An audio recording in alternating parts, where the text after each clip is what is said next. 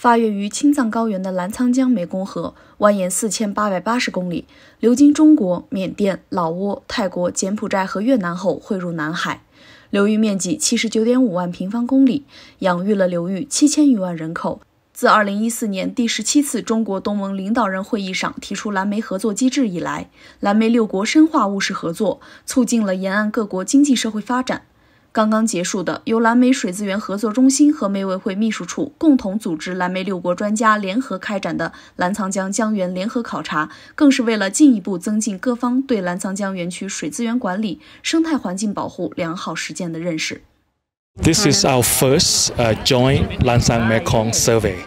Uh, under an activity that we do jointly between the MRC, the Mekong River Commission, and the Lansang Mekong Water Corporation conjoint study. We're very happy and um, very glad to be here, although the elevation is very high, but we, you know, gear up and uh, try to uh, see the conditions, the uh, status, and the conservation efforts uh, by the Chinese government and local authorities in protecting the headwaters of the Mekong. And we can see that um, there are a lot of efforts to protect and preserve, and you can see that there are a lot of natural sites that are uh, protected.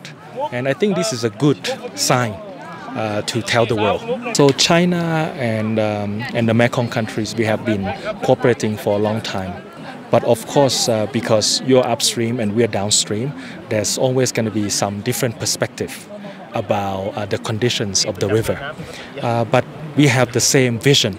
and the same objective of one common river, living one common community. 在青海省玉树藏族自治州开展的澜沧江江源联合考察中，蓝莓六国的水利专家们实地考察了澜沧江园区生态环境、文化和社会经济状态。这其中，生态环境保护工作是确保一江好水向南流去的重要方面之一。主要是五大支流流经我们囊谦，我们根据州委州政府的要求啊，加强了这个河长制、湖长制。第一个是加强日长的这个河湖的这个监管。第二个是加强这个，也就是河湖这个垃圾的这个清理；第三个是，也就是啊，保证也就是所有的这个河流啊不受到这个污染，尤其是一些河道治理。这几年的话，我们加强了这个生态啊保护这方面，也就是这个项目的落地，加强这个林管员和陶管员对这个生态修复啊、生态管理啊、生态保护这方面，也就是加强了这个整个啊农牧民群众的这个思想工作。自二零零五年起。澜沧江源头杂多县进行了黑土滩治理、湿地保护、鼠害防治等工作，为生态治理投入十亿余元。三江源国家公园内，除了落实河湖长制外，还增加了一户一岗生态管护员制度，发动住在源头的群众成为管护员，带动他们的家人一起为三江源的生态环境保护工作做出努力。从零五年开始，我们三江源一期工程、二期工程，直到二零一六年成正式成立国家公园来，这个工作已经持续进行了十几年了。咱们这个群众他本身就有一个保护大自然的一个自主的意识，藏民族生来就有一个这这这个传统。但是现在为了更好的保护这个环境啊，除了河湖长制度以外，还实行了一户一岗的生态管护员的这个制度，就每家每户安排一个生态管护员。在这个国家公园的范围里，总共我们安排了七千七百五十二个管护员，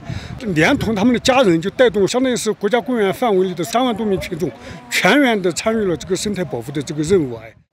蓝莓水资源合作中心培训处处长程东升向记者表示，生态系统的保护包含着水资源的保护和利用，从整体的角度来看，二者自始至终都是相辅相成的关系。我们说到生态系统的话，肯定是一个包括水生物，对吧？等等。这些因素在内的一个整体的一个一个系统，生态系统的保护的话，实际上肯定也包括这个水资源的保护和利用。那么水资源保护呢，实际上也从另一个侧面来促进了我们生态环境的保护。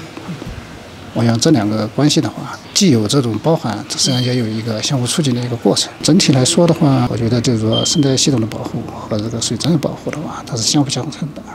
一个关系。